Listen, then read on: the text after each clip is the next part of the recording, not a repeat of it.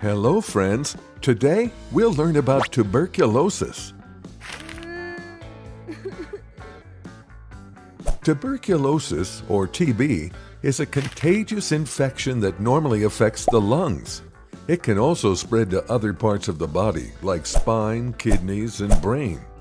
Tuberculosis mostly affects adults in their most productive years. However, all age groups are at risk. A type of bacterium called Mycobacterium tuberculosis causes it. You can get TB only if you come into contact with people who have it. When someone who has TB coughs, sneezes, or talks, they release tiny droplets that contain the germs. If you breathe in these germs, you can get it. Tuberculosis spreads in a similar way to a cold or flu, but it is not as infectious. You would have to spend several hours in close contact with an infected person to catch the infection yourself. There are two types of tuberculosis. Latent TB. In latent tuberculosis, the individual carries the bacteria but does not display any symptoms. This is because immunity fights the infection and is able to suppress it to an extent. Persons suffering from latent tuberculosis cannot transmit the illness to others. However, at some point in their life, the bacteria can get reactivated and the infection can become active tuberculosis. Latent TB does not have symptoms. A skin or blood test can tell if you have it. Active TB. In active tuberculosis, the individual who is carrying the organism has active symptoms and can transmit the infection to other people.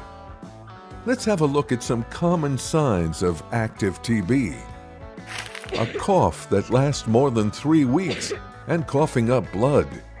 Chest pain and feeling tired all the time. Fever and chills. Loss of appetite and weight loss. There are two types of tests used to detect tuberculosis bacteria in the body. Skin test. In this, a technician injects a small amount of fluid into the skin of your lower arm. After two or three days, they'll check for swelling in your arm.